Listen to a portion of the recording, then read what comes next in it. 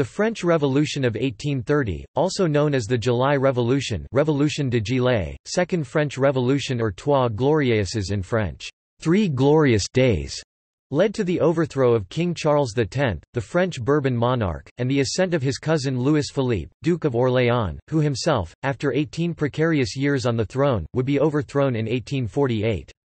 It marked the shift from one constitutional monarchy, under the restored House of Bourbon, to another, the July monarchy, the transition of power from the House of Bourbon to its cadet branch, the House of Orléans, and the replacement of the principle of hereditary right by popular sovereignty. Supporters of the Bourbon would be called Legitimists, and supporters of Louis Philippe Orléanists.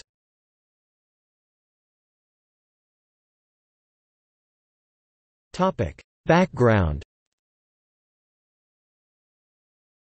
Upon Napoleon's abdication in 1814, continental Europe, and France in particular, was in a state of disarray. The Congress of Vienna met to redraw the continent's political map.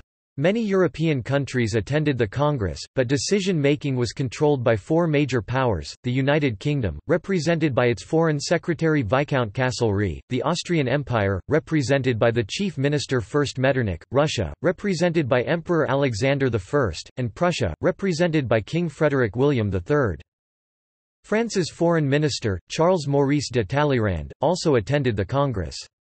Although France was considered an enemy state, Talleyrand was allowed to attend the Congress because he claimed that he had only cooperated with Napoleon under duress.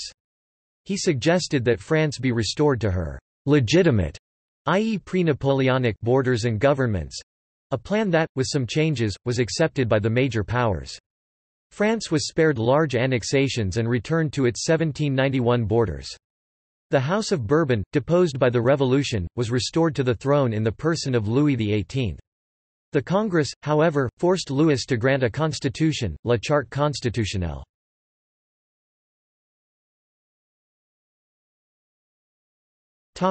Charles X's reign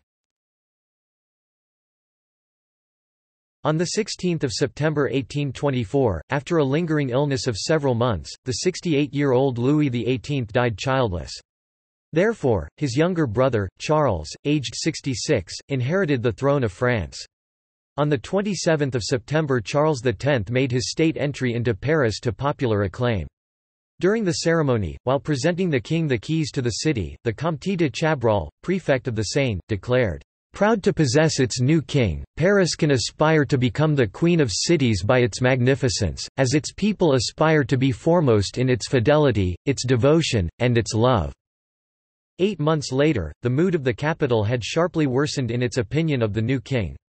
The causes of this dramatic shift in public opinion were many, but the main two were the imposition of the death penalty for anyone profaning the Eucharist see Anti-Sacrilege Act.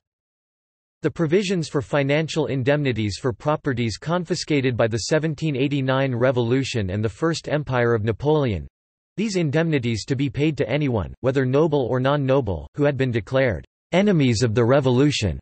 Critics of the first accused the king and his new ministry of pandering to the Catholic Church, and by so doing violating guarantees of equality of religious belief as specified in La Charte. The second matter, that of financial indemnities, was far more opportunistic than the first. This was because, since the restoration of the monarchy, there had been demands from all groups to settle matters of property ownership, to reduce, if not eliminate, the uncertainties in the real estate market both in Paris and in the rest of France. But opponents, many of whom were frustrated Bonapartists, began a whispering campaign that Charles X was only proposing this in order to shame those who had not emigrated. Both measures, they claimed, were nothing more than clever subterfuge meant to bring about the destruction of La Charte. Up to this time, thanks to the popularity of the Constitution and the Chamber of Deputies with the people of Paris, the king's relationship with the élite—both of the Bourbon supporters and Bourbon opposition—had remained solid. This, too, was about to change. On 12 April, propelled by both genuine conviction and the spirit of independence, the Chamber of Deputies roundly rejected the government's proposal to change the inheritance laws. The popular newspaper La Constitutionnelle pronounced this refusal, "...a victory over the forces of counter-revolutionaries and reactionism." The popularity of both the Chamber of Peers and the Chamber of Deputies skyrocketed, and the popularity of the king and his ministry dropped. This became unmistakable when on 16 April 1827, while reviewing the Garde Royale in the Champ de Mars, the king was greeted with icy silence, many of the spectators refusing even to remove their hats. Charles X later told his cousin Orléans that, although most people present were not too hostile, some looked at times with terrible expressions.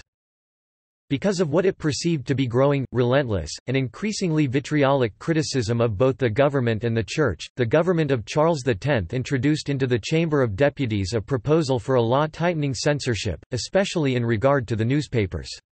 The Chamber, for its part, objected so violently that the humiliated government had no choice but to withdraw its proposals. On 17 March 1830, the majority in the Chamber of Deputies passed a motion of no confidence, the address of the 221, against the king and Polignacs ministry. The following day, Charles dissolved Parliament, and then alarmed the Bourbon opposition by delaying elections for two months. During this time, the Liberals championed the 221 as popular heroes, whilst the government struggled to gain support across the country as prefects were shuffled around the departments of France. The elections that followed returned an overwhelming majority, thus defeating the government. This came after another event, on the grounds that it had behaved in an offensive manner towards the Crown. On 30 April the King abruptly dissolved the National Guard of Paris, a voluntary group of citizens and an ever-reliable conduit between the monarchy and the people. Cooler heads were appalled.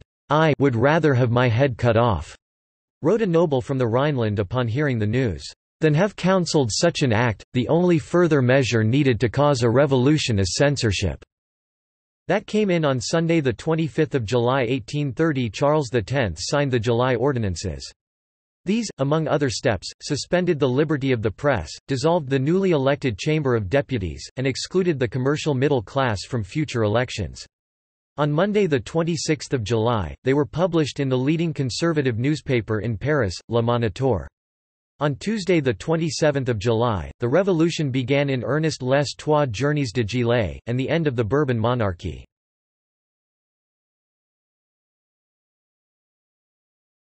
The Three Glorious Days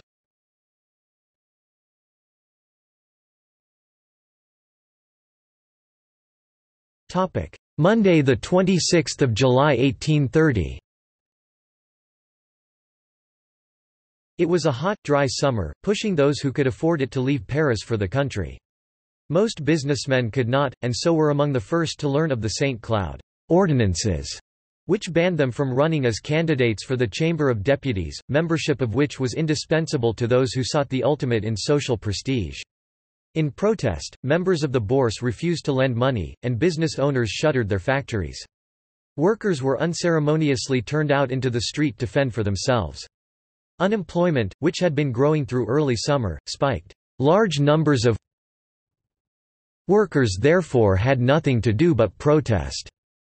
While newspapers such as the Journal des Débats, Le Moniteur, and Le Constitutionnel had already ceased publication in compliance with the new law, nearly 50 journalists from a dozen city newspapers met in the offices of Le National. There they signed a collective protest, and vowed their newspapers would continue to run. That evening, when police raided a news press and seized contraband newspapers, they were greeted by a sweltering, unemployed mob angrily shouting, À bas les Bourbons! Down with the Bourbons! and Vive la charte! Long live the Charter! Armand Carrel, a journalist, wrote in the next day's edition of Le National, France falls back into revolution by the act of the government itself. The legal regime is now interrupted, that of force has begun. In the situation in which we are now placed obedience has ceased to be a duty. It is for France to judge how far its own resistance ought to extend. Despite public anger over the police raid, Jean-Henri Claude Mangin, the Paris préfet de police, wrote that evening, the most perfect tranquility continues to reign in all parts of the capital. No event worthy of attention is recorded in the reports that have come through to me.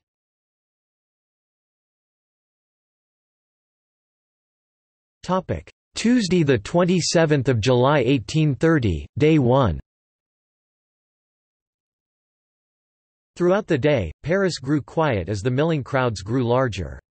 At 4.30 pm commanders of the troops of the 1st Military Division of Paris and the Garde Royale were ordered to concentrate their troops, and guns, on the Place du Carrousel facing the Tuileries, the Place Vendôme, and the Place de la Bastille. In order to maintain order and protect gun shops from looters, military patrols throughout the city were established, strengthened, and expanded. However, no special measures were taken to protect either the arm depots or gunpowder factories. For a time, those precautions seemed premature, but at 7 p.m., with the coming of twilight, the fighting began. Parisians, rather than soldiers, were the aggressor. Paving stones, roof tiles, and flower pots from the upper windows began to rain down on the soldiers in the streets. At first, soldiers fired warning shots into the air. But before the night was over, 21 civilians were killed.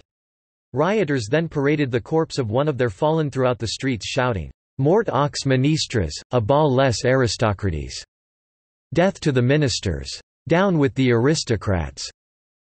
One witness wrote, I saw a crowd of agitated people pass by and disappear, then a troop of cavalry succeed them. In every direction and at intervals. Indistinct noises, gunshots, and then for a time all is silent again so for a time one could believe that everything in the city was normal.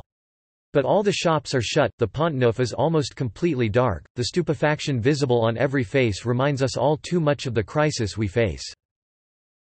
In 1828, the city of Paris had installed some 2,000 street lamps.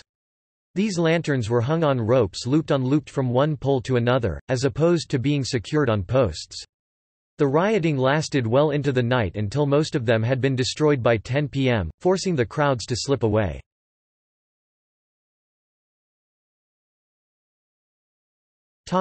Wednesday 28 July 1830, Day 2 Fighting in Paris continued throughout the night. One eyewitness wrote, It is hardly a quarter past eight, and already shouts and gunshots can be heard. Business is at a complete standstill. Crowds rushing through the streets. The sound of cannon and gunfire is becoming ever louder. Cries of a bas le roi, à la guillotine can be heard.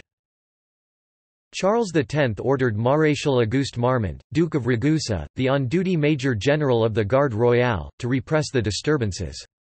Marmont was personally liberal, and opposed to the ministry's policy, but was bound tightly to the king because he believed such to be his duty, and possibly because of his unpopularity for his generally perceived and widely criticized desertion of Napoleon in 1814. The king remained at St. Cloud, but was kept abreast of the events in Paris by his ministers, who insisted that the troubles would end as soon as the rioters ran out of ammunition. Marmont's plan was to have the Garde Royale and available line units of the city garrison guard the vital thoroughfares and bridges of the city, as well as protect important buildings such as the Palais Royal, Palais de Justice, and the Hôtel de Ville. This plan was both ill-considered and wildly ambitious, not only were there not enough troops, but there were also nowhere near enough provisions. The Garde Royale was mostly loyal for the moment, but the attached line units were wavering, a small but growing number of troops were deserting, some merely slipping away, others leaving, not caring who saw them. In Paris, a committee of the Bourbon opposition, composed of banker and kingmaker Jacques Laffitte, Casimir Perier, generals Étienne Gérard and Georges Mouton, Comte de Lobau, among others, had drawn up and signed a petition in which they asked for the ordonnances to be withdrawn. The petition was critical not of the king, but his ministers, thereby countering the conviction of Charles X that his liberal opponents were enemies of his dynasty. After signing the petition, committee members went directly to Marmont to beg for an end to the bloodshed, and to plead with him to become a mediator between St. Cloud and Paris. Marmont acknowledged the petition, but stated that the people of Paris would have to lay down arms first for a settlement to be reached. Discouraged but not despairing, the party then sought out the king's chief minister, de Polignac. Jeanne d'Arc en culottes. From Polignac they received even less satisfaction. He refused to see them, perhaps because he knew that discussions would be a waste of time. Like Marmont, he knew that Charles X considered the ordonnances vital to the safety and dignity of the throne of France. Thus, the king would not withdraw the ordonnances. At 4 p.m., Charles X received Colonel Komorowski, one of Marmont's chief aides. The colonel was carrying a note from Marmont to His Majesty, Sire, it is no longer a riot, it is a revolution. It is urgent for your majesty to take measures for pacification. The honor of the crown can still be saved. Tomorrow, perhaps, there will be no more time. I await with impatience your majesty's orders. The king asked Polignac for advice, and the advice was to resist.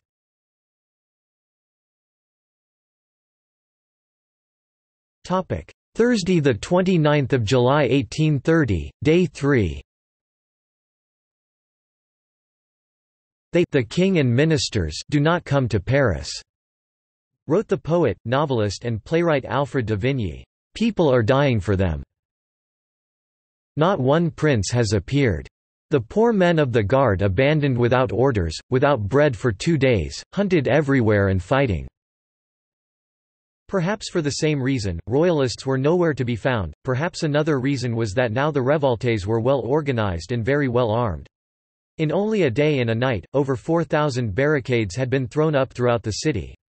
The tricolor flag of the revolutionaries, the «people's flag», flew over buildings, an increasing number of them important buildings.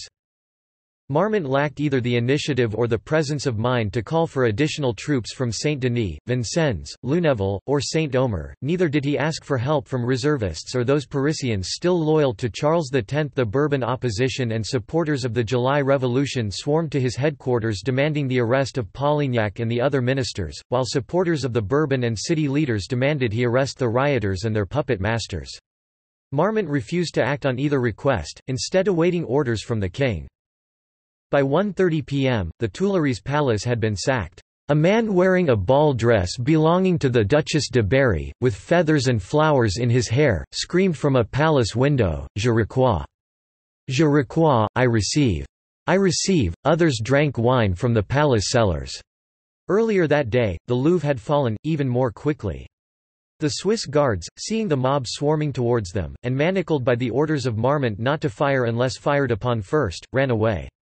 They had no wish to share the fate of a similar contingent of Swiss guards back in 1792, who had held their ground against another such mob and were torn to pieces. By mid-afternoon, the greatest prize, the Hôtel de Ville, had been captured. The amount of looting during these three days was surprisingly small, not only at the Louvre, whose paintings and objets d'art were protected by the crowd, but the Tuileries, the Palais de Justice, the Archbishop's Palace, and other places as well. A few hours later, politicians entered the battered complex and set about establishing a provisional government. Though there would be spots of fighting throughout the city for the next few days, the revolution, for all intents and purposes, was over.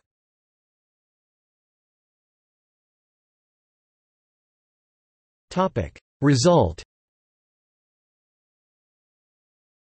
The Revolution of July 1830 created a constitutional monarchy.